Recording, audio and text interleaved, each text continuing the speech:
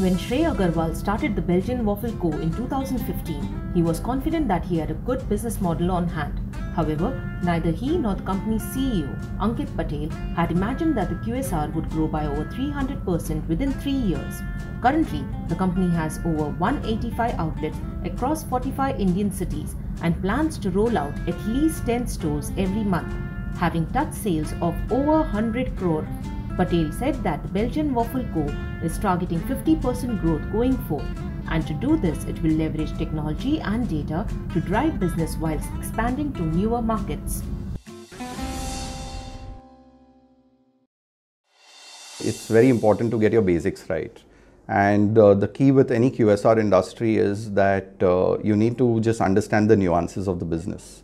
Uh, because QSR, in order to scale, is not about the front end, it's all about the back end and how do you manage your supply chain, how do you manage your processes, how do you translate food, which is more like an art, into a science and then ensure that that science is followed with precision. We brought a lot of innovation to the category. It's not that waffles never existed, but it's just that the way the waffles uh, as a category got created, you know, was actually attributable to the Belgian Waffle Co. And since we were the category creators, you know, it just helped catapult us in a different league where, you know, the metrics just played out and we and which has which is what has attributed to our uh, scale and growth. So we use technology in several ways. You know, one side we use uh, technology in the way that we have a lot of POS data that we collect because uh, so basis that we just analyze a lot of that data, we mine that data to understand what SKUs are working, what SKUs are not working. Uh, at the same time, you know, who are the customers? We profile all our customers to understand what the target group is, which also gives us critical insights on what kind of product development activities that we need to focus on.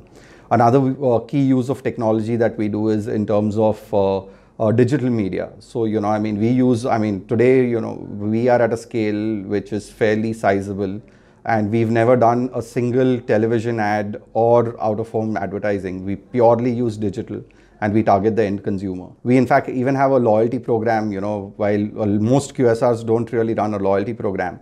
Uh, we, we run a loyalty program because of the simple reason that it helps us in better data capture. Better data capture helps us in better understanding and profiling of our end consumers. We get real-time data on our sales and, you know, on all each SKU and, you know, what kind of sales each SKU is doing. Now, the way we've uh, translated the entire art of food into a science to ensure product consistency across all outlets uh, calls for a certain defined set of equipments that we normally keep at our outlet level. So, yeah, so the other thing is that, you know, I mean, uh, since we do a lot of SKU-wise analysis, we just understand what category works and we can do this SKU-wise analysis not only at a brand level, but also at an outlet level or at a city level.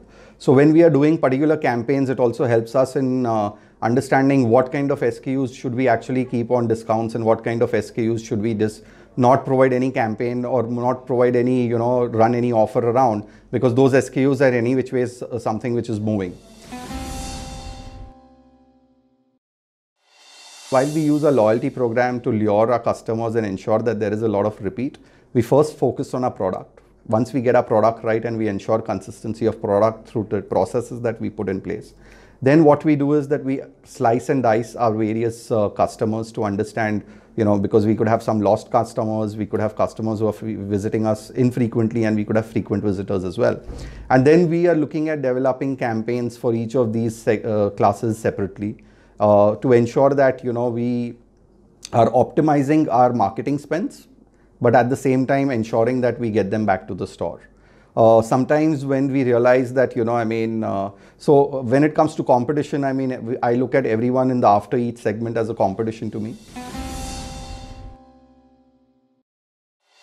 Campaigns really work. So when you realize that, you know, I mean, uh, you know, your brand just needs a boost. We do a certain kind of a price competitive campaign as well. I mean, we've just done one recently during Children's Day where we again offered our waffles at 100 because children is one of children are one of our biggest target groups and we wanted to not only lure them but we wanted uh, to for uh, wanted them to feel special for the simple reason that it was a day which is celebrated by children you know and we did a 100 rupee campaign and which again drives a lot of footfalls in our stores and after that we've seen that you know i mean again the trajectory of sales is just phenomenal because the walk-ins just come in.